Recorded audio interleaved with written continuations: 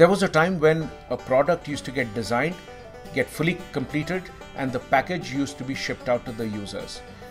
This has completely changed. Today, you have products which are actually being developed along with the user at every stage. You are actually having to rethink what the user wants. They add features, they remove features, and it is the job of the creator to be able to partner with the user and create the end product.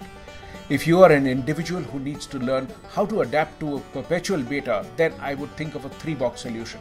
Now, this is what Professor Govindarajan actually advises for organizations.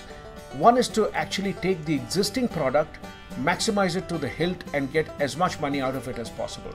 Two, in parallel, remove what is obsolete, remove those processes, remove those features which no longer work.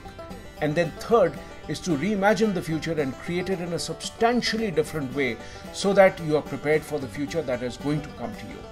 And that means people have to get comfortable being more like an app than an operating system. Every time you switch on your phone, you will realize that your apps are constantly getting updated. There is no one finished product. So ask yourself, do you want to be like the operating system which gets updated maybe every few years, maybe every six months or a year?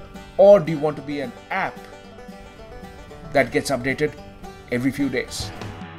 I wonder what you think about this. I will wait to hear from you. You can drop me an email abhijit bhaduri at live.com or join me on Twitter at Abhijit Bhaduri. Look for the hashtag digital tsunami. There are tons of interesting links there. I'll wait to hear from you.